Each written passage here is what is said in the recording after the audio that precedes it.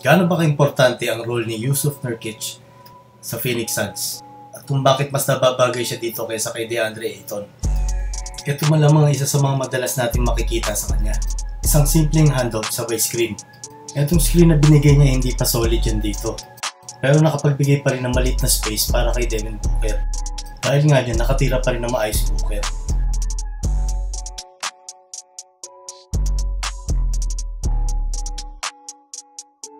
Dito naman ay isang off-ball screen ang binigay niya kay Kevin Durant. Ito yung kagandahan sa kanya.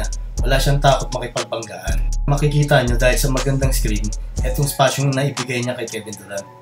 At agad siya nag-roll sa ilalim para magabang ng rebound. Pero ang nangyari, inatake ni Kevin Durant yung gap at mapapaangat nga dito si DeAndre Ayton para magbigay ng help defense. At ma-open nga rin dito si Nurkic para matapos niya yung 2 points. Magandang pagkakapwesto ang nagawa niya rin dito. Walang legit na point guard dito ang Phoenix Suns, kaya positionless basketball ang nilalaro nila. Isang screen na naman ang binigay niya dito kay Gordon. Masyadong mababa din yung pwesto ni Ayton. Mukhang yung attention niya ay nasa bola ni KD. Mukhang hindi niya napansin yung action dito. Dahil uli sa magandang screen, ay mabilis niya natanggap ang bola at yung matake sa ilalim.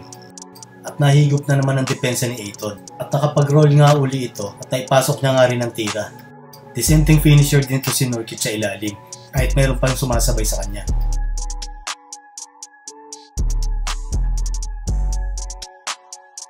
Dito isang magandang ball screen na naman ang binigay niya kay Gordon. Nang sa bumangga kasi ang katawan ng defender sa'yo, magbabago talaga yung momentum.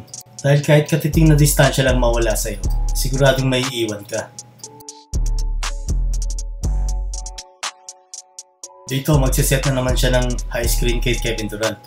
Pero mapapansin nyo na hindi bumangga si Grant kay Nurkic dito. Dahil iniwasan niya nga rin bumangga dito. Pansinin niyo yung kaliwang paa ni Grant kung saan niya ang hinakbang. Diba, nabago yung trajectory ng takbo niya.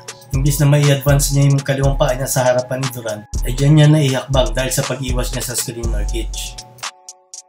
At mabilis nga uling naka-atake si Durant sa ilalim na ikinagulo naman ng depensa ng Portland. Kaya naipasa niya to kay Booker para sa isang 2.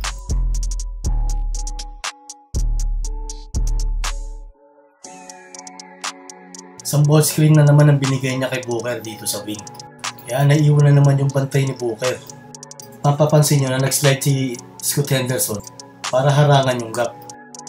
Kaya naiwan si Diop. Nakapag-close out naman dito si Henderson pero na-swing naman ni Diop yung bola kay Nurkic. At sumama naman yung defender ni Booker sa kanya kaya naiwan po kasi Nurkic para sa 3.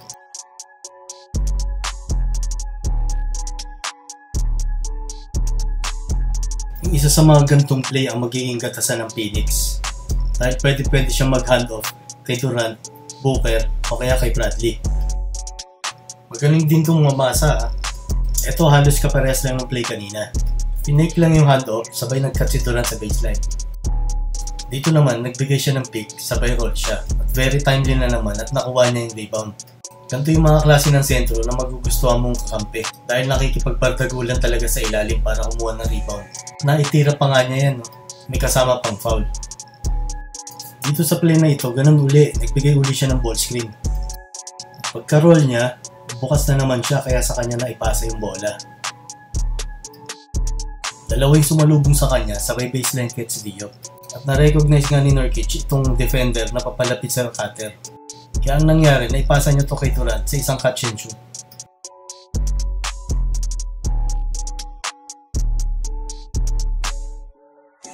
Ang sa depensa naman, mukhang alanganin ako dito sa kanya sa mga switching dahil medyo mabagal nga ang kanyang laterals. At malamang laging aatakihin yung kanyang depensa lalo pag nakadrop defense siya.